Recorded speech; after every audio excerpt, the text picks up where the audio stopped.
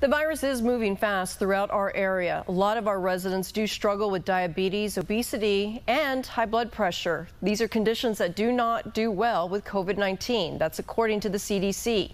Channel 5's Michael Scott takes a closer look. Three times a week for nearly four hours, dialysis is a life saving necessity for David Martinez, a diabetic for 25 years. I've been trying not to go out that much. Being extra careful through this COVID 19 pandemic. Just go to the stores or to the doctor and just stay home. I wash my hands and I use my face mask. The pandemic is hitting the Rio Grande Valley hard. COVID 19 cases are surging across all four counties. More than 500 deaths recorded. No sign of slowing down. You couldn't find a COVID 19 patient here at McAllen Heart Hospital. That changed just last week. COVID 19 patients are filling up the rooms here. Hospital staff even having to turn one of their emergency rooms into a COVID unit. Dr. Swarnalatha Kanaganti is a cardiologist with South Texas Health System Clinics. She works with COVID patients, also having to take her own precautions. Patients with comorbidities, definitely they are at higher risk compared to regular patients who don't have any of these ailments.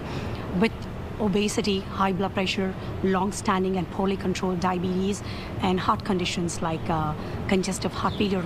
The Centers for Disease Control shows adults with hypertension, obesity, and metabolic disease have a higher chance of ending up hospitalized with COVID 19.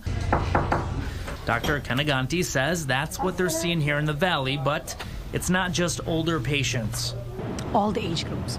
Before, in the very beginning, we were seeing only older patients, but now we do see younger patients as well, very sick on the ventilator, and a lot of deaths too. The valley has a high diabetes prevalence of around 31% compared to the rest of the country at 12.3%. Face masks, hand washing, social distancing, and avoiding large gatherings will help slow the spread of COVID.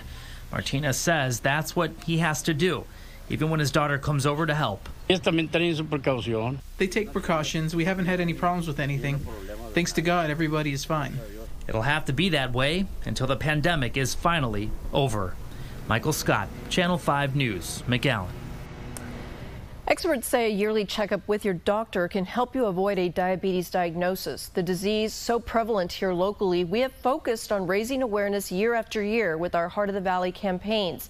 We have brought you stories on what the disease is, how to manage it, and the things you can do to prevent it. To find more resources and information, head over to our website, krgv.com. Heart of the Valley is right under the News tab. You'll find it in the upper left-hand corner.